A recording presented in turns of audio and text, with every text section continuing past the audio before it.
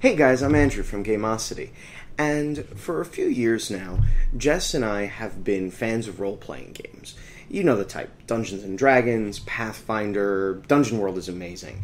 And the central theme of those games is that you're using this pen and paper role playing system to tell a collaborative story. Everybody who's at the table is a part of that. Today, we're going to review a game that touches on the heart of that concept, of that collaborative storytelling experience.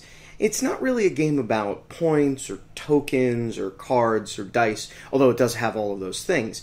Uh, instead, it's really about the story that you're going to tell together uh, with you and a few of your friends in The Siblings Trouble by uh, Eduardo Baraf, Kim Robinson, and Andy Ashcraft.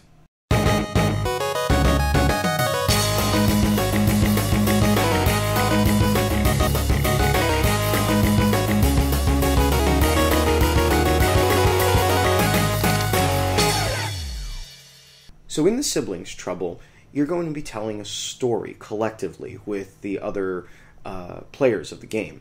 And as soon as you open the box, you can see that a great deal of care was put into the layout and the physical design of the box. Everything in here is all that you need to tell sort of the kind of adventure stories, uh, theme wise, of like a uh, Scooby Doo or, or the Goonies. It's about a group of kids that, the siblings, that are going on adventures uh, that may or may not be in their imaginations, but are almost certainly in their backyards.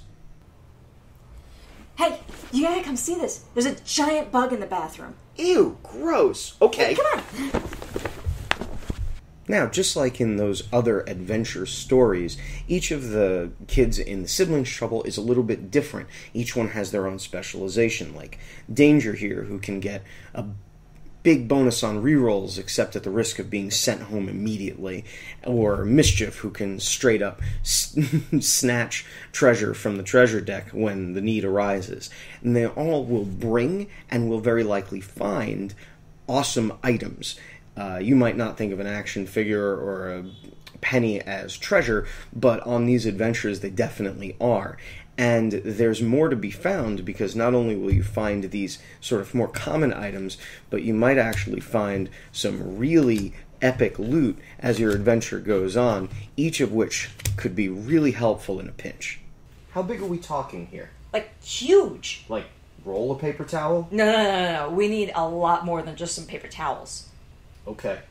So at the core of the experience in the siblings trouble is the adventure deck. That's the deck that's going to drive the narrative that you and your friends are telling. And every time you start a game, you're going to compose the adventure deck from bits and pieces of other decks so that you never quite tell the same story. There are generic path cards, a big pile of them that get added in. There are the locations. You're, you're always going to be adventuring in one of the locations, things like the abandoned junkyard or the hillside caves.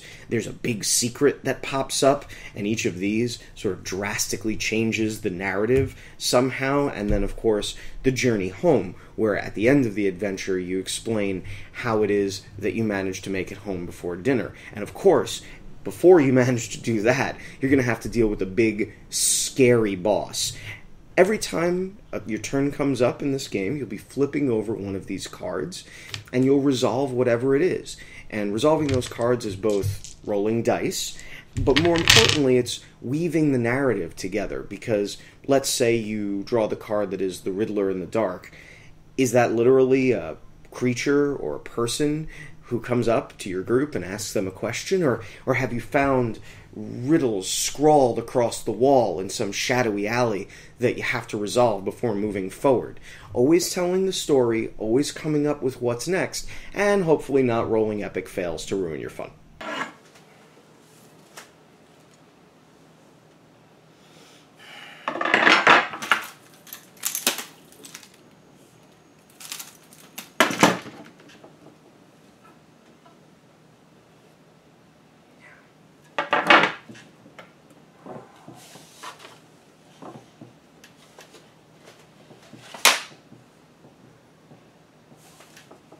So, mechanically speaking, the Siblings Trouble is a fairly straightforward game. It's certainly nowhere near as complicated as uh, my favorite role playing systems, but that's okay because even though the mechanics are simplified and the stories you tell are going to be a little more youthful and a, and a little more not childish but but playful um, that's fine. That's great actually because what we have here is in jess's words baby's first role-playing game. This is a toolbox for telling stories, but it's also an introduction to the idea of shared storytelling. And it's a great way to bring in either a young person or an inexperienced person into this world of telling stories together while still existing as its own distinct game that completely stands up on its own. It's beautiful, it's simple.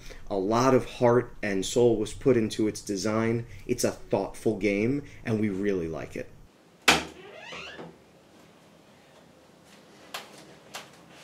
Whoa! Whoa ah, oh, I think that's gotten bigger since I last saw it. Oh my god, is it wearing your robe? I, I'm gonna go back. I'll get the cats. And that's the Siblings Trouble from Pencil First Games. Thank you for watching our videos. If you like what you saw, please like, comment, favorite, subscribe, share us wherever you can. Uh, check out our reviews on our main site at Gameosity.com. And uh, please let us know in the comments below if uh, you have games that you'd like to see us review, or if you have storytelling experiences that you'd like to share. Anyway, this has been Andrew, Gameosity. Thanks for watching, and until next game, see you then.